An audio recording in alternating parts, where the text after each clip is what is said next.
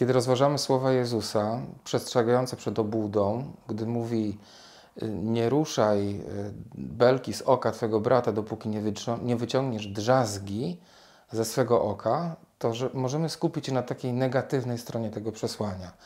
Nie wolno nam cokolwiek zrobić w życiu drugiego człowieka, dopóki nie uporządkujemy swojego. Natomiast zauważmy, że te słowa Jezusa niosą także taki pozytywny przekaz usuwamy drzazgę ze swojego oka, także po to, żeby nie zapomnieć o swoim bliźnim, który może być też w kłopotach.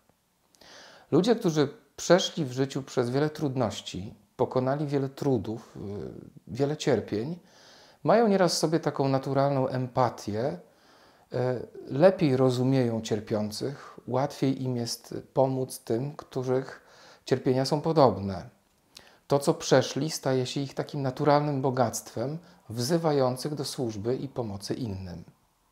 Zatem usuwasz drzazgę ze swojego oka także po to, aby nie zapomnieć o swoim bliźnim.